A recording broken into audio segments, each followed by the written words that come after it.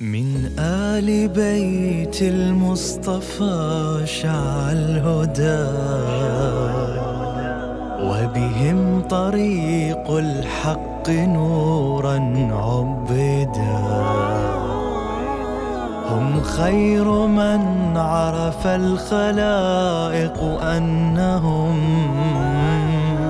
خير البرية للإله تعبدا. فيهم من المختار بانت سنة أقوالهم نور يضيء الفرقدا عنهم روى التاريخ خير رواية. من بات يقرأها فيصبح مرشدا.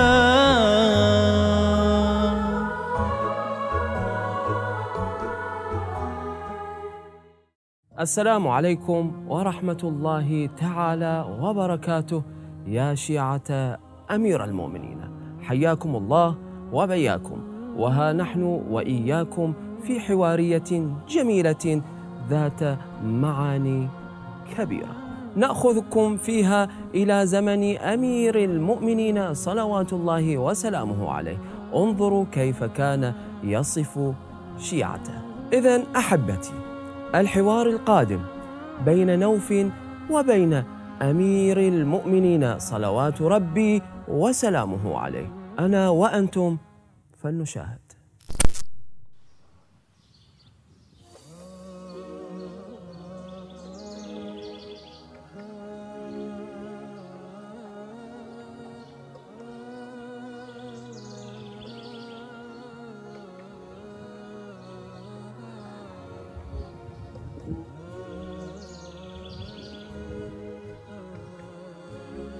يا نوف. نعم يا أمير المؤمنين. خلقنا من طينة طيبة وخلق شيعتنا من طينتنا.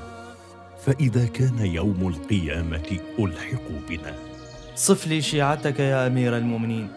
يا نوف شيعتي والله الحلماء العلماء بالله ودينه العاملون بطاعته وأمره. أنضاء عباده أحلاس زهادة. صفر الوجوه من التهجد. عمش العيون من البكاء.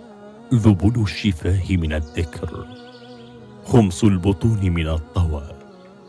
تعرف الربانية في وجوههم. والرهبانية في سمتهم. مصابيح كل ظلمة. وريحان كل قبيل. لا يثنون من المسلمين سلفا. ولا يقفون لهم خلفا. شرورهم مكنونة وقلوبهم محزونة وأنفسهم عفيفة وحوائجهم خفيفة. أنفسهم منهم في عناء والناس منهم في راحة. فهم الكاسة الألباء والخالصه النجباء. وهم الرواغون فرارا بدينهم. إن شهدوا لم يعرفوا وإن غابوا لم يفتقدوا. أولئك شيعة الأطيبون وإخوان الأكرمون. ألا هاه شوقا إليهم. صدقت يا أمير المؤمنين.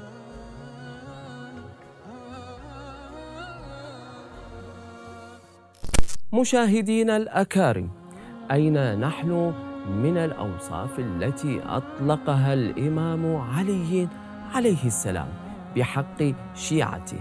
أين نحن من سماتهم؟